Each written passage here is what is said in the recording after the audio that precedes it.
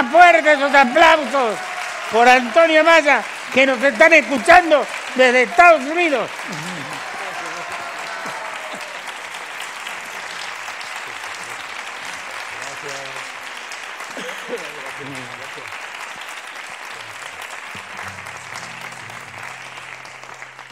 Muchas gracias.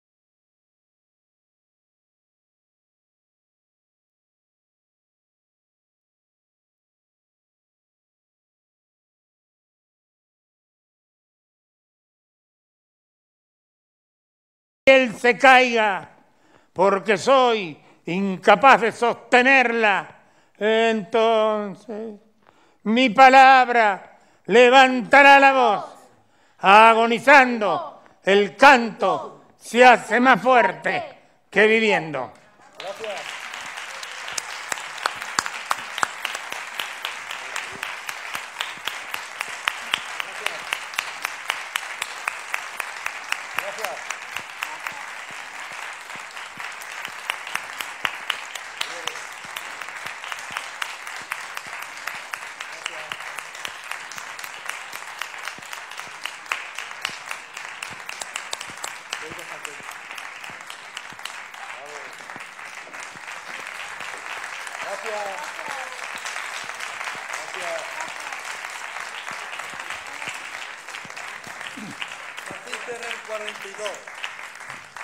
¿Sí? No. Del 40. Del 40 soy. Entonces tiene usted 77 años. 77. No, yo seten- le había entendido 75. No. No. Tened cuidado porque ella te alcanza enseguida. ¿eh? Más o menos. No, está un poquito. Gracias.